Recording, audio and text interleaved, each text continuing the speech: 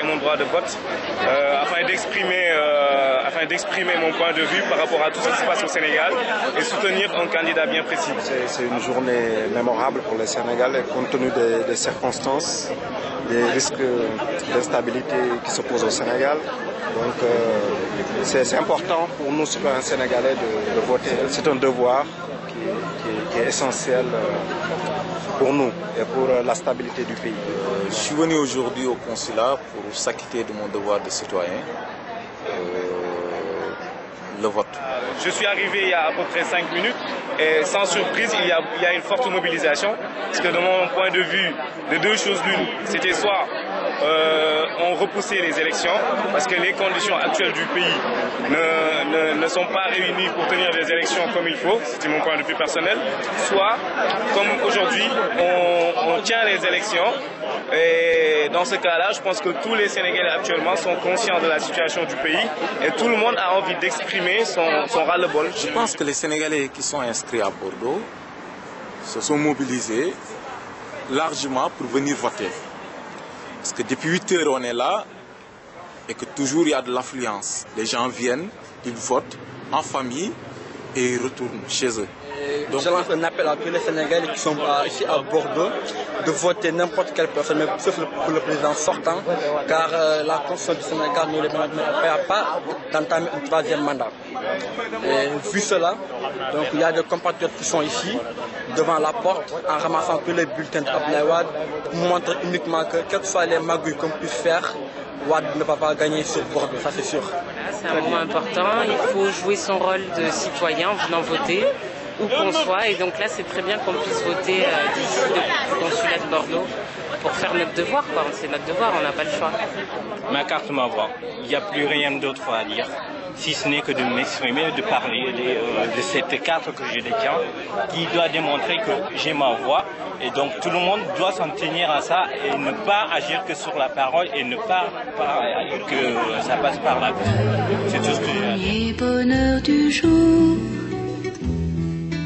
c'est un ruban de soleil. Alors, que vous inspire la situation actuelle au Sénégal C'est une situation qui me fait un peu peur. J'espère que, que, le vote va se dérouler vraiment dans le respect de la démocratie et que ça va, euh, le résultat va apaiser les tensions et que voilà, que le résultat euh, correspondra à ce qu'il faut euh, pour le Sénégal. Je suis très préoccupé parce que, comme vous le savez aussi bien que, nous, que moi, vous voyez que depuis quelques jours, il y a eu beaucoup de manifestations qui sont traduites par des morts. Et en tant que Sénégalais, nous voulons garder cette paix sociale qui est essentielle pour notre pays et pour cela, nous passons par la voie des urnes. Je me dis que c'est lamentable de voir cette situation au Sénégal. Le Sénégal fut un, pays démocratique euh, et un pays référent pour les pays qui nous entourent, tels que Mali, Mauritanie, Gambie. Il y a 11 morts qui ont eu pendant la campagne électorale. Donc euh, des, des qui, qui, marchent dans la, dans rue avec, euh, avec des armes et tout et que, la police euh, n'ose même pas leur interpeller, alors que le cas de Malek Nawel Sek, qui est un, opposant, on a pu trouver dans sa voiture des gourdins, des, armes à feu et des, revolvers. Là, en ce moment, on l'a, euh, empêché de voter. Là, où je parle, il a, il prison à Saint-Louis. Et ce matin même, d'après les infos que j'ai reçues, donc il y a, même il y a des partisans d'Ablaïwad qui ont été euh, attrapés avec euh, des armes alors que nous sommes dans, nous, sommes dans le camp électoral et c'est formellement interdit. Telle qu'elle est, franchement, c'est gravissime. Et dangereusement, je condamne euh, la façon dont agit tout ce qui est des, des opposants et même les partis aussi euh, qui sont leaders Le Sénégal est un pays, si qui n'a jamais connu de guerre civile. Est un nous sommes une population non violente. Gens ont toujours su euh, trouver d'autres solutions euh, différentes de la, de la violence. Nous n'en avons jamais eu recours.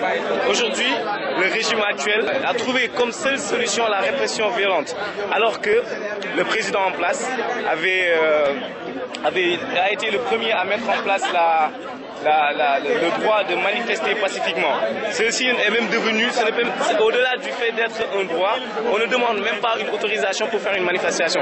C'est juste on dépose, euh, on dépose l'information au niveau de la préfecture. Alors si ce régime qui a mis en place cette façon de faire se retourne et est en train de, donner des ordres, de, violenter la population, nous dénonçons ceci et nous disons stop au régime, stop à la répression. Le dernier bonheur du jour, c'est la lampe qui s'éteint. Un message à passer aux Sénégalais qui sont au Sénégal actuellement ben, je, Un message pour les Sénégalais. Je leur dirais euh, de continuer à se battre pour leurs droits et pour la liberté de leur pays et de quand même euh, faire attention à eux parce que nous, même si on est loin, mais on s'inquiète quand même. J'espère vraiment que les tensions vont s'apaiser et que tout va rentrer dans l'ordre. Tout ce que j'ai à passer d'autre, ce n'est que la paix. La paix que pour la paix. Il faut aller aux urnes, il faut aller voter, il ne faut pas boycotter, il ne faut pas les laisser faire. Parce qu'aujourd'hui, certes, le régime est responsable de tout ce qui se passe, mais nous aussi, Sénégalais, nous avons notre responsabilité. Alors que chacun prenne ses responsabilités en main souffle de la mer et la plage qui attend. C'est l'oiseau qui a chanté